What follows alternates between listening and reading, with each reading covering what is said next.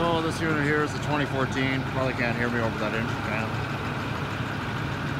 2014 International. I uh, much rather the Bluebirds, but mind you, this thing definitely moves a lot faster than Bluebirds.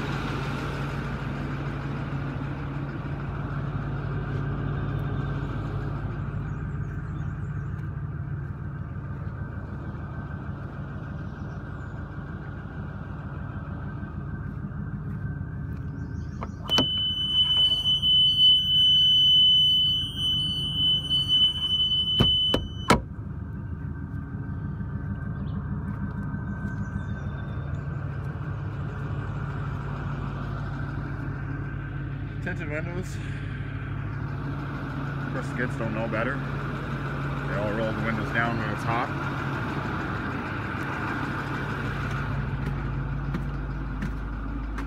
Steering control, or the uh, door controls are all on the steering wheel, which is kind of neat, I guess. No clock on the dash two ways of closing the door. We got a switch here and a switch here.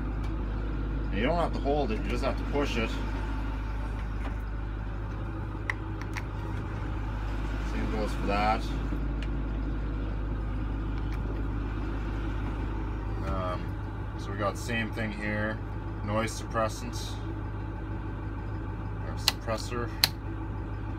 Uh, shuts the radio off. Crossing gate cancel. Momentary switch just for that. Dome lights, of course. Um, boost pump, I'm not sure what exactly that does. We got our heater controls. Got a cup holder in this. The Bluebirds don't seem to have them. Uh, yeah, not a bad bus. Pull to apply. Push to release kind of like a, a truck with air brakes. Nothing fancy about that. Cruise control is here. You turn this on and you hit resume accelerator, it'll rev the engine up. I guess that's basically your high idle. So, not bad. I wasn't a big fan of the Internationals, however. So I guess for your flashers, if you hit this, it'll activate our reds. You can kind of see it in the crossover mirrors. And the second you open the door, it'll flip to our stop arm, crossing gate.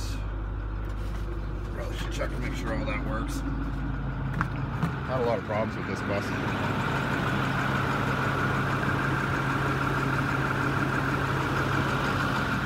Go to the back.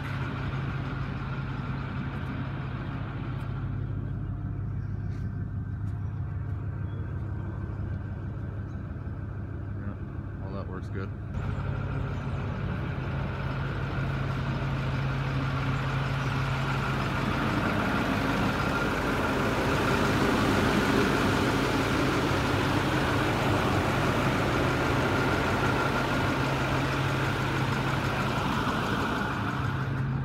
Uh, Bluebirds we have, they don't seem to have a, a, red override where you can actually shut them off with the door open. That's kind of neat. You push that button shuts everything off. Close the door. Well, not a bad bus, I mean, but there has been a lot of mechanical problems with these that we've experienced anyway. Uh, Post-trip child check system, uh, it's a little different from the Bluebirds. You got to have it on accessory. Not a bad bus though, it moves pretty good.